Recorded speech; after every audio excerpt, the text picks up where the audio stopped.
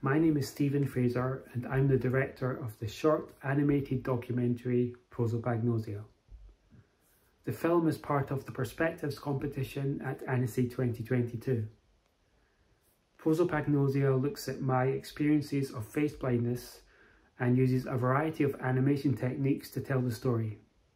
It was filmed in the first six months of 2021, but looks back at over a decade's worth of diaries, photographs and drawings.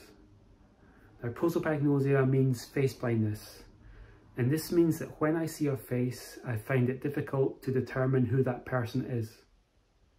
I first realised I had a form of prosopagnosia when I was receiving a diagnosis of autism. At this time, I had a compulsion to understand what a face is. The eyes, the ears, the nose, the mouth, for example. I, and I started keeping diaries, written diaries and audio diaries which documented my experiences.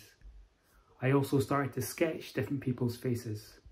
So I'd go into a coffee shop, take out my sketch pad and I would just draw. When doing this, I realised this helped me a lot and what a face actually looks like became clearer to me. Eventually, I realised I had all these sketches, drawings, diaries and photographs, so I put them together into a memory box.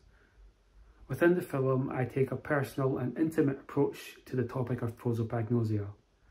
I open up this memory box to see what's inside and the content of the box is the basis of the film.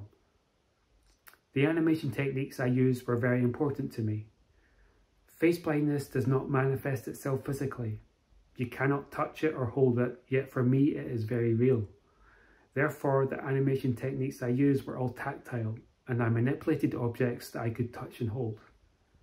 I really wanted this story to show what it feels like to live with prosopagnosia, not suffering from prosopagnosia. Neurodiversity has been shown on film many times, but most of the films I've seen come from an outsider's perspective. You have this outsider point of view of the filmmaker trying to get into the head of the protagonist. And this was not a concern to me. I had my own insider's perspective and I was letting people know what this is. For me, the best type of art is when the artist is telling the audience a secret. It's when they open up their diaries and let people in. And that's what I attempted to do with my short animation, Prosopagnosia.